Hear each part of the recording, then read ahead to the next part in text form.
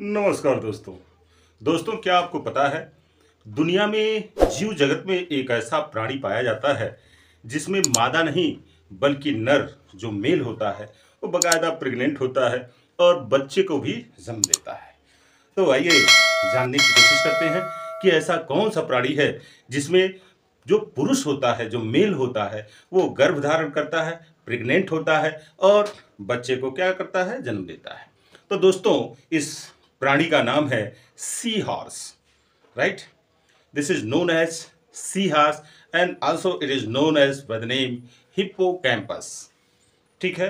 तो सी हार्स जिसे समुद्री घोड़ा के नाम से जानते हैं, इसमें मादा नहीं, जो मेल है, नर है, वो बच्चे को जन्म देता है। वही गर्भ धारण भी करता है और वही बच्चे को जन्म भी देता है।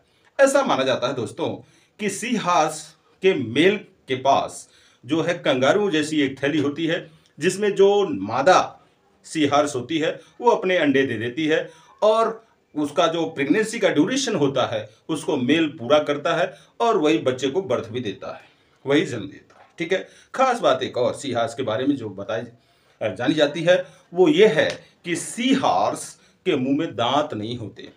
दोस्तों, सी हार्स समुद्री घोड़ा तो ये घोड़ा नहीं होता, समुद्र में पाया जाने वाला एक सुंदर सा जीव है, राइट? घोड़े की तरह दिखने के कारण ही इसका नाम सीहास कहा जाता है। Thank you